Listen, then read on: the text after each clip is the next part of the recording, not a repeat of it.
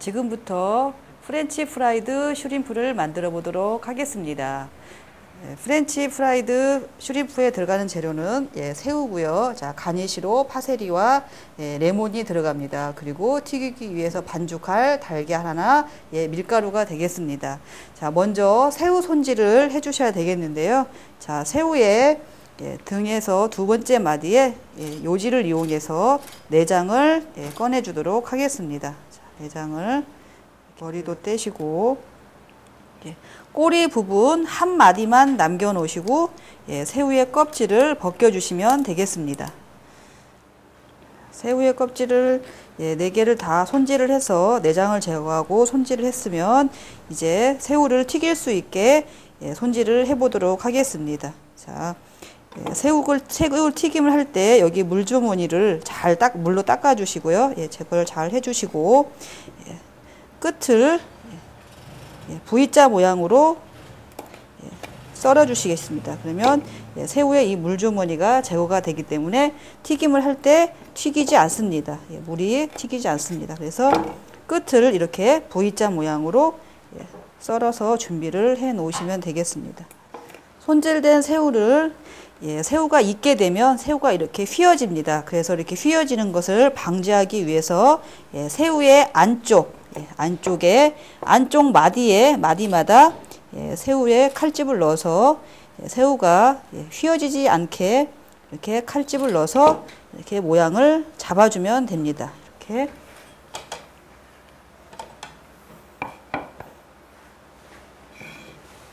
이렇게 모양을 잡아서 준비를 해 놓도록 하겠습니다. 안쪽 마디에 칼집을 넣어서 새우의 모양을 잡아주겠습니다. 새우가 휘어지지 않도록 이렇게 해서 새우가 휘어지지 않게 새우 손질을 다 하셨으면 예, 소금, 후추, 밑간을 좀 해 놓겠습니다. 소금과 후추로 예, 밑간을 해 놓으시고요. 네, 기름팬의 온도가 올라갈 수 있도록 예, 기름을 좀 켜놓겠습니다. 자, 그리고 예, 파셀리는 찬물에 담궈서 준비를 해 놓으시면 되고요. 그리고 레몬도 가니시로 예, 사용할 수 있게 준비를 하겠습니다. 자, 레몬은 끝을 좀 예, 잘라 주시고요. 이렇게 해서 가니시로 예, 올리도록 하겠습니다. 이제 달걀 흰자와 노른자를 분리를 해보도록 하겠습니다. 달걀 흰자를 거품기를 이용해서 달걀 흰자 거품을 내도록 하겠습니다. 거품기를 이용해서 달걀 흰자를 거품을 내주겠습니다. 흰자가 거품이 다 준비가 됐으면 이제 튀김 반죽을 만들어 보도록 하겠습니다. 달걀 노른자 한 큰술 정도 넣어 주시고요. 차가운 물, 차가운 물이 좋습니다. 차가운 물 한 큰술 정도 넣어 주시고 밀가루 세 큰술을 넣어 주겠습니다. 밀가루 세 큰술을 넣어서 여기에 소금과 설탕을 조금 넣어 주겠습니다. 소금과 설탕을 좀 넣어 주시고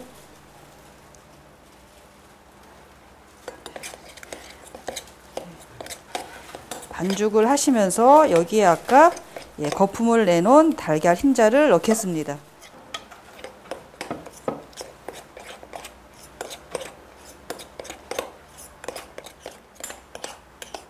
예, 튀김 반죽이 이렇게 준비가 됐으면 예, 새우의 물기를 좀 닦아주시고 예, 밀가루 옷을 입혀서 예, 튀김 반죽으로 예, 꼬리는 묻지 않게 꼬리를 잡으시고 튀김 옷을 입혀서 튀겨보도록 하겠습니다.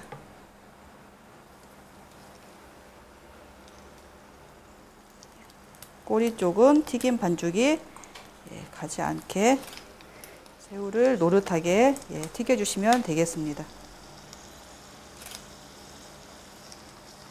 자, 노릇하게 튀겨진 새우를 예, 키친타올을 깐 접시에 건져 보도록 하겠습니다.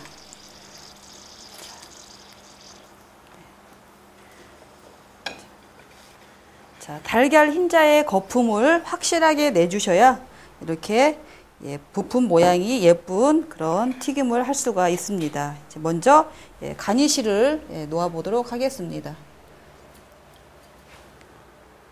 파세리는 예, 찬물에서 건져서 물기를 좀 닦아 주시고요.